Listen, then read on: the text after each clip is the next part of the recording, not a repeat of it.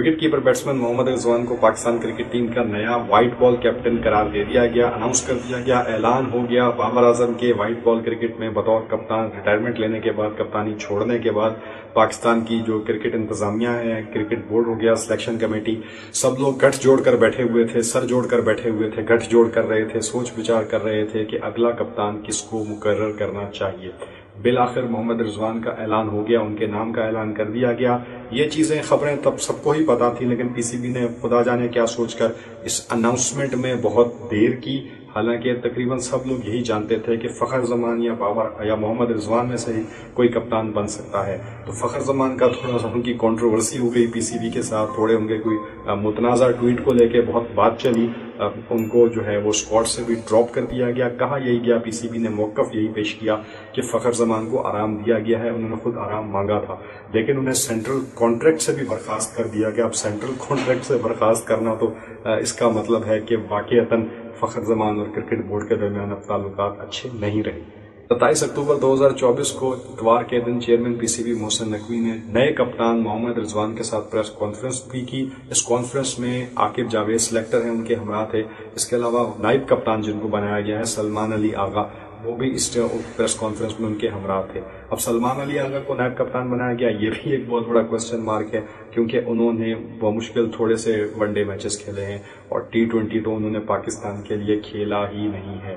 तो ऐसे में सलमान अली आगा को पाकिस्तान का नायब कप्तान बना देना, जो कि आगे चल के जिम्बाब्वे के दौरे पर कप्तानी भी करेंगे टी ट्वेंटी में। तीन टी ट्वेंटी मुकाबलों में सलमान अली आगा पाकिस्तान के कप्तान होंगे तो यह भी एक बहुत बड़ा चैलेंज है कि टीम में दीगर जो लड़के हैं, उन्हें वो किस तरह हैंडल करेंगे, क्योंकि तकरीबन ऐसा होगा कि एक दो खिलाड़ियों को छोड़कर, हारिस रऊफ या इस तरह एक और, एक आध और खिलाड़ी को छोड़कर पूरी टीम का ही डेब्यू हो रहा होगा जिम्बाब्वे में। चले, अच्छी बात है, नए लड़के होंगे उनके लिए, हम बेस्ट ऑफ़ लक उन्हें कहते हैं लेकिन फिर भी हम ये समझते हैं कि यहाँ पे किसी और के नाम पे सेहरा बन सकता था।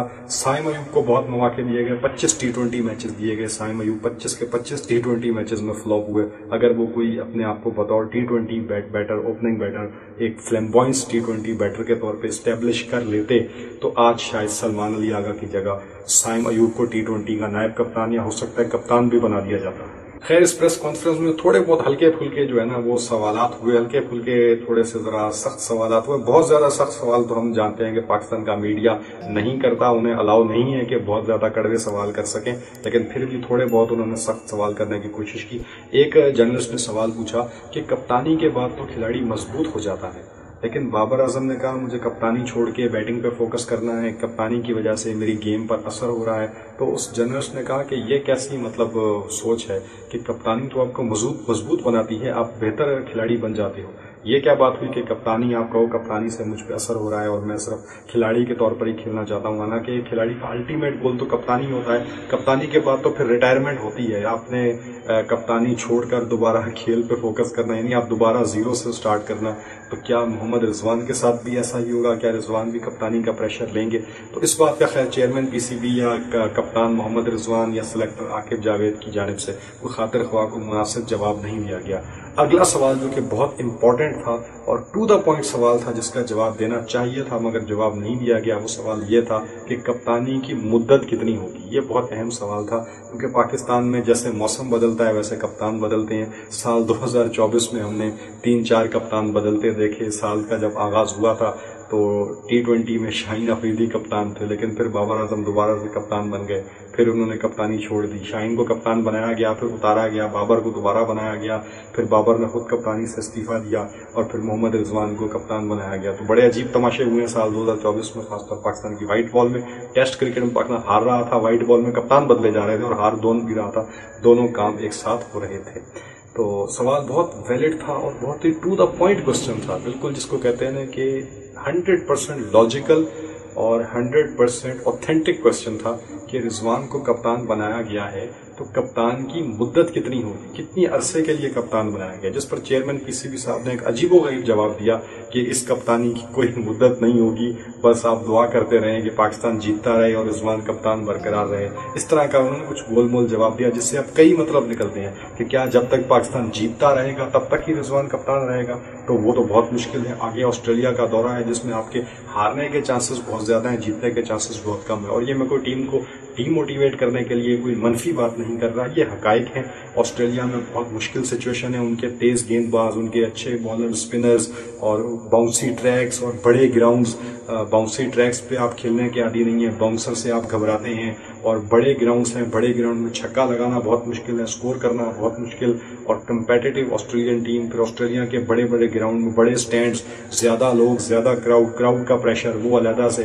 पाकिस्तान में आप पंद्रह, बीस हज़ार तीस हज़ार के साथ मैक्सिमम पीएसएल के फाइनल में आप तीस हज़ार क्राउड के सामने खेलते हैं। ऑस्ट्रेलिया में आपको एकदम से सत्तर, अस्सी हज़ार और नब्बे हज़ार का क्राउड पिचानवे हज़ार का क्राउड आपको एमसीजी मेलबर्न में देखने को मिलता है। तो बहुत एक प्रेशर भी होता है। तो काफ़ी सारी चीज़ें यहाँ पे थी तो इस वजह से पाकिस्तान टीम के जीतने के चांसेस कम ही लग रहे हैं। अलबत्ता हारने के चांसेस ज़्यादा नज़र आ रहे हैं। तो अब जो बात की गई चेयरमैन पीसी की जानब चेयरमैन पीसीबी की जानब से कि कप्तानी की कोई मुद्दत नहीं है, बस दुआ करें, जीतते रहें टीम जीतती रहे और जवान कप्तान बरकरार रहें। तो ये बहुत ही खतरनाक किस्म की बात है।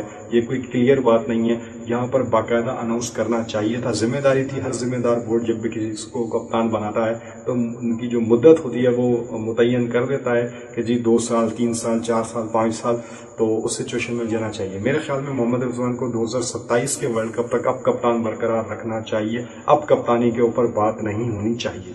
फखर जमान को लेकर सवाल हुआ कि फखर जमान को टीम में शामिल नहीं किया गया, वो सेंट्रल कॉन्ट्रैक्ट का भी हिस्सा नहीं है, क्या आप इस पर कहना चाहेंगे? तो उस पर चेयरमैन पीसीबी ने कहा कि फखर जमान ने जो मुतनाज़ा ट्वीट की थी वो नहीं, बल्कि उनकी जो फिटनेस है, वो असल वजह है, जिसकी वजह से उन्हें टीम में भी लगा नहीं दी गई और वो सेंट्रल कॉन्ट्रैक्ट का हिस्सा भी नहीं बने।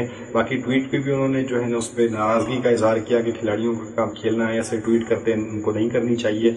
और इसके अलावा उन्होंने कहा कि हाँ ये उन्होंने अच्छी बात की थी, जो कनेक्शन कैंप था कि वहाँ पर उन्होंने बात की थी, जो अपने मसाइल हमारे सामने रखे थे तो हमें अच्छा लगा, हमने उस पर काम किया, उस पर वर्कआउट किया, और उनकी निशानदही, जो उन्होंने निशानदहियाँ की थी, उन पर अमल दरामद किया।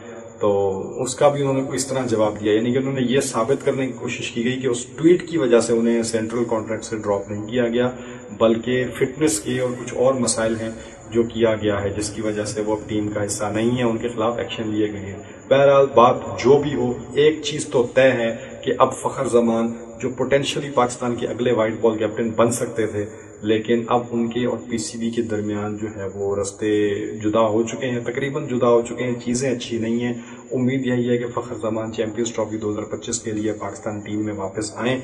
लेकिन अभी हालात जिस तरह के बन चुके हैं, ऐसा लगता है कि थोड़ा मुश्किल ही होगा।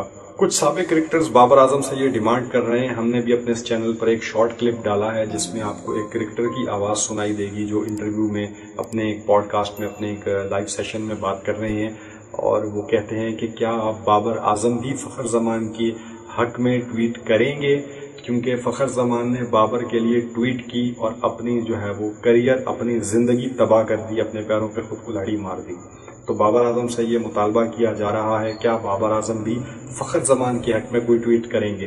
देखिए मेरा जहाँ तक मानना है वो ये है कि खिलाड़ियों को तो इस बहस मुबासे में नहीं पढ़ना चाहिए लेकिन जहाँ तक बासित अली साहब जिन्होंने सवाल किया है पाकिस्तान के सबक क्रिकेटर सबक बैट्समैन उनका मैं यूँ जवाब देता चलूँगा जहाँ तक मेरा तजुर्बा है आ, हो सकता है मैं गलत भी हूँ 99 परसेंट तो चांस है कि बाबर आज़म फखर जमान के लिए किसी किस्म का कोई ट्वीट नहीं करेंगे। वन परसेंट है कि वो कर भी सकते हैं बट 99 परसेंट जो मेरा दिल कह रहा है, मेरा तजुर्बा, थोड़ा बहुत जो भी क्रिकेट देखने का है क्रिकेट की बातें करने का, दोस्तों में बैठने का है, वो यही है कि बाबर आज़म ट्वीट नहीं करेंगे। बाबर आज़म कोई ऐसी स्टेटमेंट नहीं देंगे जो फखर जमान के हक में हो और जिस स्टेटमेंट से पीसीबी पर तनकीद की जाती हो। दोस्तों, कसूर किसका है? फखर जमान का? क्या फखर जमान बेकसूर था? फखर जमान फंस गया? फखर जमान ने क्या गलती की? देखिए फखर जमान ने बिला वजह अपने आप को कंट्रोवर्सी में डाल दिया और अब बुरे फंसे।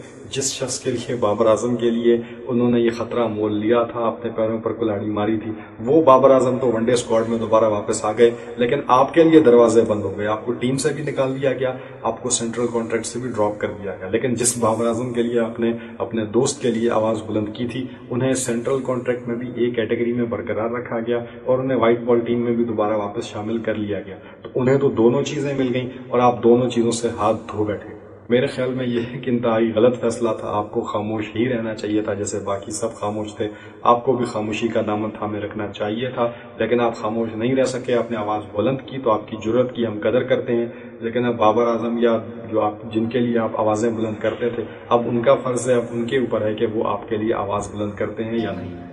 बहरहाल मोहम्मद रिजवान को पाकिस्तान क्रिकेट टीम का नया व्हाइट बॉल कैप्टन बनाया गया है। मोहम्मद रिजवान ने भी आते साथ ही रस्मी बातें की। खैर, हमें इनकी बातें, इनके लेक्चर्स और इनकी गुफ्तगु से जो है ना, वो कोई लेना देना नहीं है। हमें पाकिस्तान क्रिकेट से लेना देना है और हमें पाकिस्तान क्रिकेट टीम को जीतते हुए देखना है। हमें पाकिस्तान क्रिकेट को ट्रॉफी जीतते हुए देखना है। चैंपियंस ट्रॉफी 2025 हमारे घर पर हो रही है तो पाकिस्तान क्रिकेट टीम के लिए और मोहम्मद रिजवान पाकिस्तान व्हाइट बॉल के नए कप्तान के लिए नए ख्वाहिशात का इजहार करते हैं। Best of you Pakistan best of you Mohammad Irfan और इंशाल्लाह पाकिस्तान चैम्पियंस ट्रॉफी 2025 अपने घर पे जीतेगा। थैंक यू सो मच खुदा हाफिज़।